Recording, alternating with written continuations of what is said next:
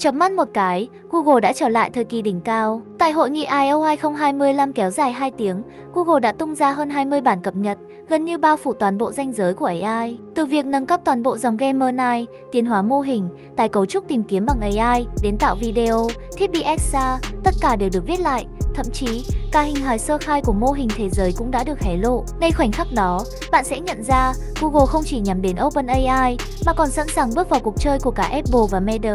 Đừng lo, tôi đã giúp bạn tóm gọn 5 điểm bùng nổ nhất của sự kiện này. Cùng tôi xem liền một mạch nhé. Cú nổ thứ nhất, Bộ ba Gemini 2.5 xuất kích, Gemini 2.5 Puzzle nâng cấp khả năng suy nghĩ sâu, có thể đưa ra giả thuyết song song, thiết lập ngân sách tư duy để kiểm soát tài nguyên, toán học, lập trình, đa mô thức, điều lọt tác hiệu năng chạm ngưỡng Ultra. Gemini 2.5 Flash nhanh hơn, rẻ hơn, tiết kiệm tới 30% chi phí mà hiệu năng vẫn đuổi sát bản Puzzle. Mô hình Diffusion, lần đầu tiên Google dùng cơ chế khuếch tán để tạo văn bản, tốc độ gấp 5 lần, cực kỳ mạnh trong việc tối ưu và lặp lại từng bước. Cú nổ thứ hai, mô hình video và hình ảnh vượt mặt đối thủ, sáng tạo bước vào thời đại bản địa. Imagen 4, tạo ảnh 2K siêu thực, tóc, giọt nước, chính tả, bố cục, tất cả đều được nâng cấp, tốc độ tạo ảnh nhanh gấp 10 lần.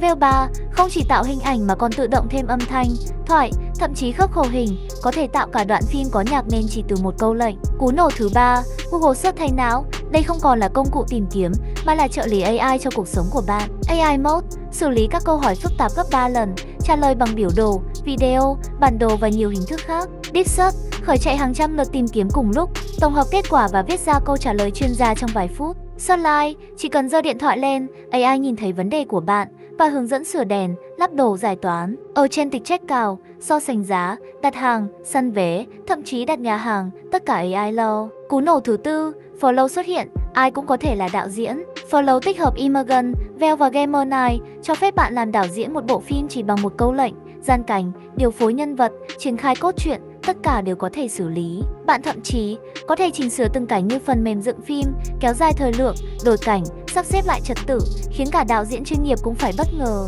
Cú nổ thứ năm, kính EXA cộng kính AI nhảy vào chiến trường Apple và Meta. Bozo chạy Mohan hợp tác với Samsung ra mắt headset màn hình vô hạn, tính toán không gian đối đầu trực tiếp với Vision Puzzle của Apple. Nguyên màu kính EXA nhẹ, đeo cả ngày, có thể dịch, chỉ đường, nhận diện vật thể, đúng nghĩa trợ lý AI di động.